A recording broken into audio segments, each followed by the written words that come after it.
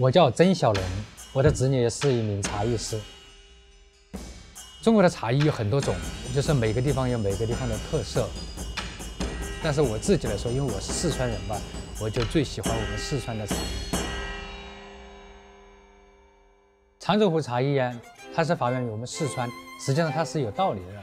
就是以前那个码头上的人南来北往，大家都非常忙嘛，然后他们到了那个码头的时候，他们。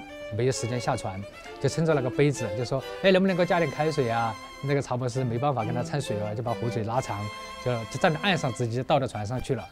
所以呢，这个称为码头茶艺，也就是我们现在的长洲湖茶艺，很具有观赏性的。它是一方水土这样出来的。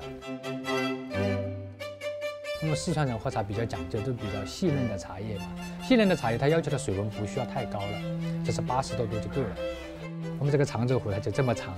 从壶身到壶嘴一米长，它的水温迅速降下来，达到那个茶叶刚好需要的水温，然后它的冲击力挺强的，冲在碗里边，它的茶叶在里边旋转，它的味道会很快的释放出来。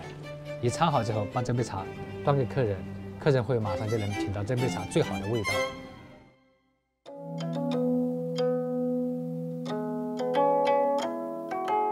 茶艺博大精深，它也是中华五千年文明的很重要的一部分。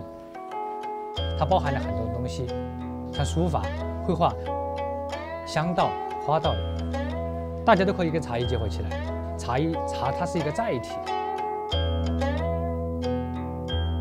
我们这些动作的灵感呢，是从很多地方来的。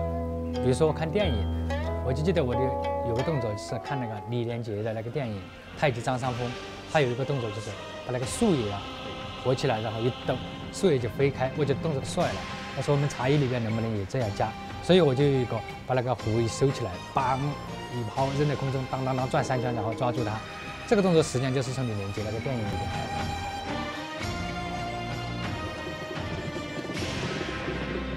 但是光从电影里边也不行，像有些东西是自己慢慢悟出来的。就是我觉得所有的艺术是相通的。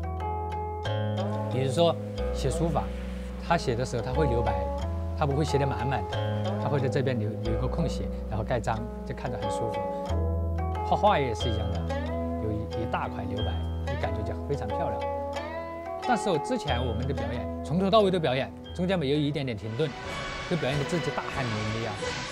表演完了之后分数还不高，还不美，然后就觉得这怎么回事呢？然后在后面想过去想过来，要留白呀。你看那个画画留白呀，那个表演也可以留白呀。所以我们有时候就表演的时候，就表演的很快的，当当当当当，突然不动了，然后再慢慢慢慢来，掌声更多。这其实这个停顿，对于我的表演的时候，我就觉得它是我表演的留白。其实东西没人教，你自己慢慢就悟出来了。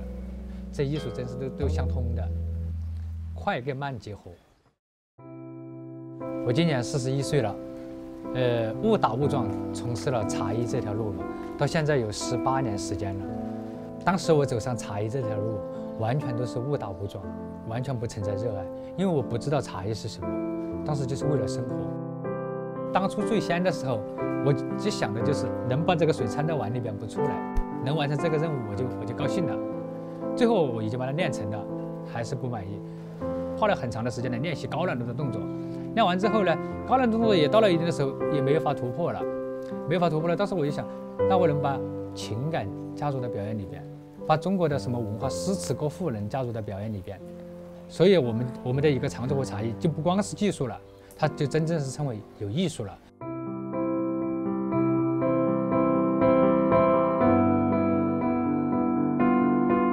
这个茶艺。它改也改变了我自己的命运，也改变了我的整个家庭。其实我家庭所有的什么开支啊，从我自己从农村到到大城市来打工，这些其实都是茶艺带给我的。在我眼中，一个真正的好的茶艺师，我觉得他的品质应该跟茶一样的朴素。我全身心的投入在里边来了。我每天想的就是怎么把这个茶艺更加完善，怎么把这个茶艺加入一些我自己的思想。把茶壶放在一边那就不是我了。我觉得茶艺就是我的人生。